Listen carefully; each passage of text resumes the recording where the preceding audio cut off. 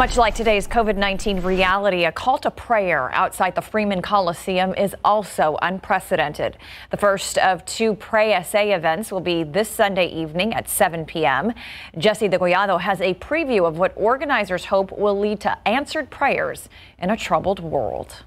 And then we'll actually live test microphones. Along with the preparations, we declare that the mindset that places one race over another is wrong. It's wrong. There were prayers outside Freeman Coliseum, all part of getting ready for Pray SA. We're not trying to make any type of political statement. It's just a good old fashioned prayer service. Christian author and pastor Max Lucado says there won't be anyone preaching on this stage to a parking lot organizers hope will be filled with people spaced apart in their vehicles, listening on 93.9 FM to what's being said. Not to lead, but to usher and to escort um, those who have that same heart's desire as we do. They're weary with the pandemic. They're they're wounded from racism and relationship issues, and and they're worried because there's no end in sight.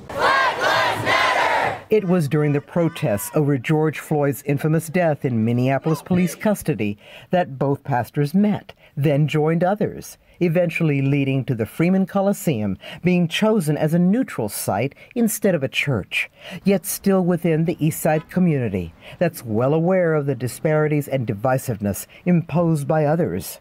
Here, organizers say they can find forgiveness through prayer. So I hope that they walk away feeling empowered to really start to deal with some of that subconscious bias and racist that's there. This is an invitation to all people to come and cry out to God and ask Him for help. Jesse Degollado, KSAT 12 News.